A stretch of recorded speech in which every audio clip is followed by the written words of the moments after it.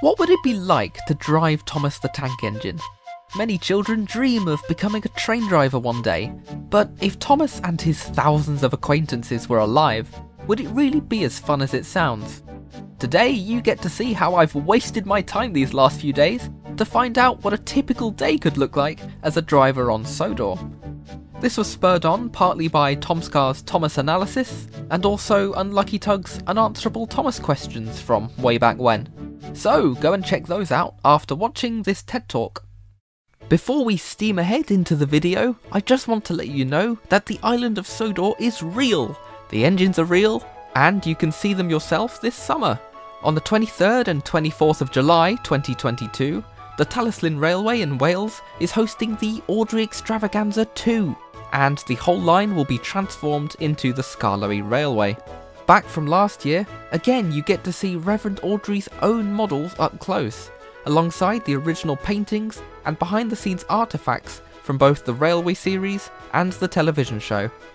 TV presenter Tim Dunn will again perform one of the great author's lectures on the railways of Sodor. You'll also find him at The Toby, a pop up pub where Tim will read various stories from the Railway series throughout the weekend. New for this year, out on the line you can have a chance at driving Duncan for yourself, so you can make the whole topic of this video redundant. Yay. Peter Sam will proudly be hauling The Picnic, a mid-Sodor experience, an afternoon tea train which fans will definitely want a slice of. There's also a Skarloey photo charter, taking you to very iconic locations from the books so you can recreate the illustrations for yourself. Tickets for this extravagant event will go on sale at 4pm on the 19th of March, and there are limited spaces on the special trains and at the exhibition, so don't wait around. No hurry, no hurry, Puff Duke. You're wrong, Duke. You're wrong. Unlike other vehicle shows where the cast are fully self-controlled from the starting line, the Reverend Awdry's fictional work is in fact set in the real world. The trains are real, and they work to transport people and goods in the same way that real trains do. There isn't any magic or hallucinations involved, but the only difference in this world compared to ours is that some of the vehicles have faces. People aren't really shocked at this, it's just how it is. It's like how parrots can talk and monkeys can replicate human movement. Although, yes, it must have been strange when the first engine was built and it started blinking. It's all in my head. It's all in my head. You wake up at 5am and get ready for work. It's too early to say goodbye to the family, but you're probably aware that you may never see them again, because the risks that you're going to be going through today are unnerving to say the least. You cycle through the sleepy village of Farquhar and clock on at the loco shed, make a cup of tea, and start preparing your engine. The firemen and cleaners are already there, and you quietly start going round oiling the motion, trying not to wake the engines. Some of the things they say in their sleep are disturbing to say the least, whilst you're using an oil can in rather uncomfortable positions. But it's worse for the fireman, who has to open the door that the face is on to clean out the ash from the smoke box. For anyone whose first day it is at the railway, seeing this down the shed is enough to haunt you for life. They feed them a barrow full of firewood, as it's a healthy breakfast for steam engines, high in protein, before adding a round of coal. After a few hours, steam has been raised and Thomas slowly wakes up. Throughout the good morning formalities, he begins bossing the cleaner about because they didn't polish his brass whistle enough, and everyone is vain on this island. But you're soon ready to start your day. After the usual prep, open the regulator, and out you go into the yard to get coal and water. Thomas is still waking up, so when you get to the carriage sheds, his temper is short when Annie and Clarabel complain that they'll be late. It's even worse when Percy overhears the little caterpillar and he mutters how Thomas has it easy just pulling passenger trains. And the whole town is awoken as they start arguing. On the journey, you get stopped by the usual hindrances a cow on the line, Mrs. Kindly wanted to stop for a chat, and despite the fireman's best efforts, Thomas just doesn't want to steam today. It's only made worse when you see Bertie the bus, because everyone is competitive on this island, and he jokes that Thomas is getting old. Considering he's well over a hundred, he's not doing too badly to be fair. At the big station, the Fat Controller praises Thomas for being really useful, whilst you, the driver, don't get a word in or even a pay rise. You're by the seaside, so it must be something in the air, because you're definitely not salty about it. No, why would you be? You're expected to be extremely fit to work on the Northwestern Railway, as proven by the guard who you see running up the line to warn you that Percy has broken down and you need to go and rescue the train. You leave the passengers, who immediately start shouting and throwing bricks, and head off up the line.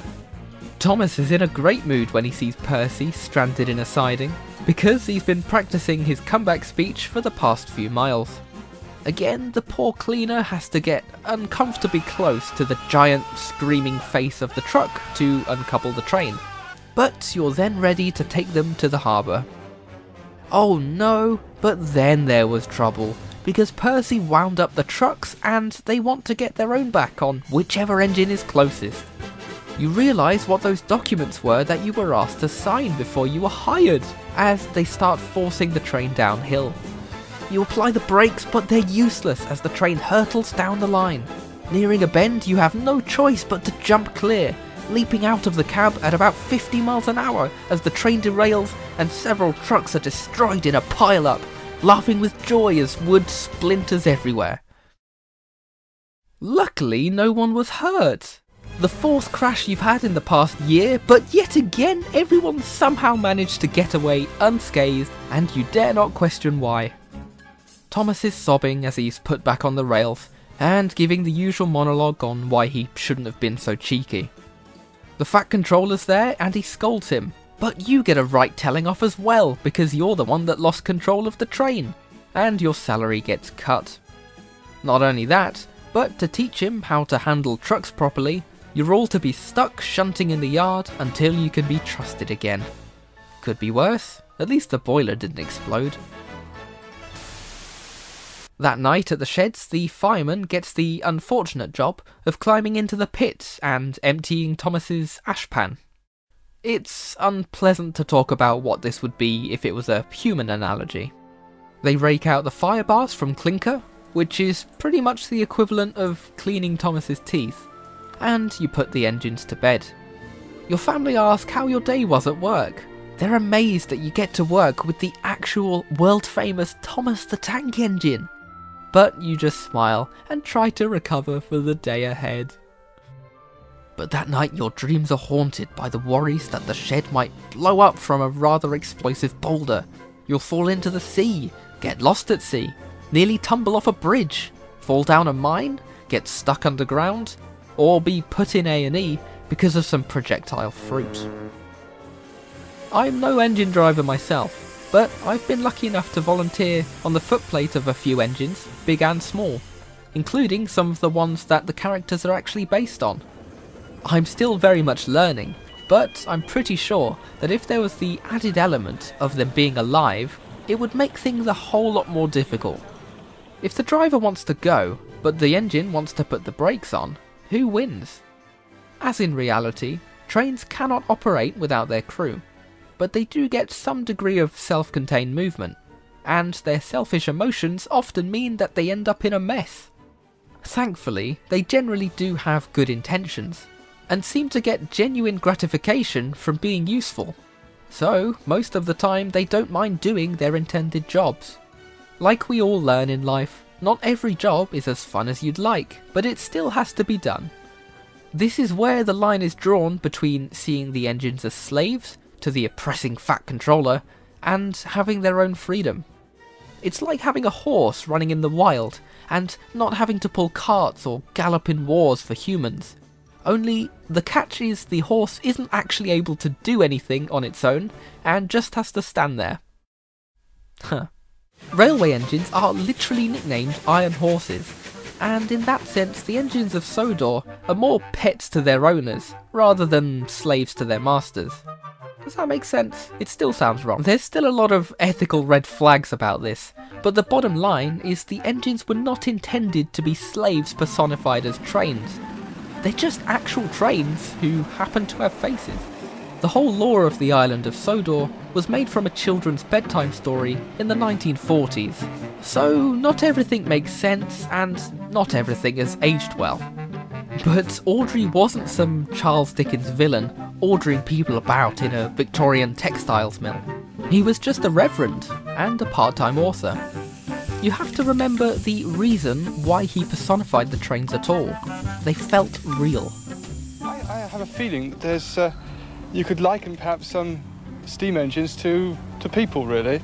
Uh, I think this has been said before, and this is nothing original from me by any means, but I have a feeling that, well, you know, steam engines breathe, they eat, and they uh, excrete as well.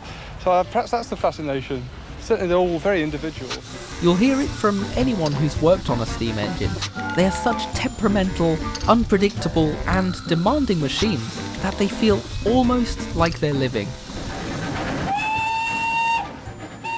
There are thousands of ways in which you can compare the ways a steam engine works to human biology, and even two identical machines can act differently. Unlike cars or diesel and electric locos, a driver and fireman must really work with a steam engine to get where they're going, and it's all the more rewarding when they get there.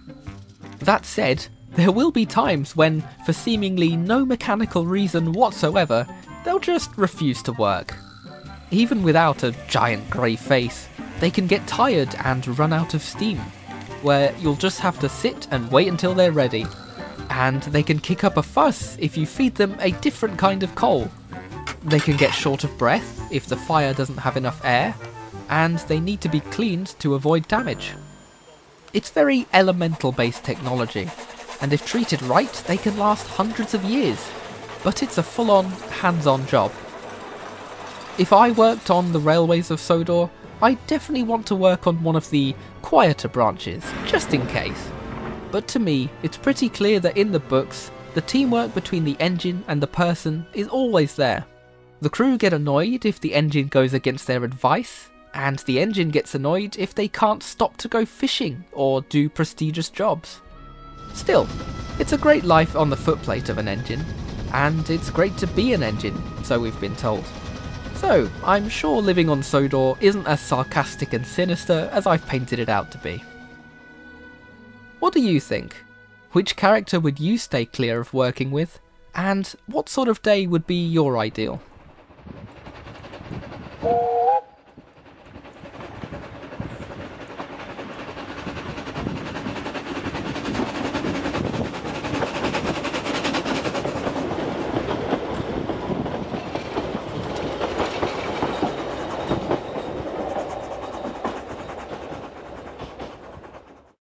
Thank you to all of my brilliant patrons Alex Goodman, GBH Train, Donald 9 and Douglas 10, D0280 Falcon, Sean Tempest, Kildane's Coven, Nat, Sam Bennett, Alco, and Henry Forrester.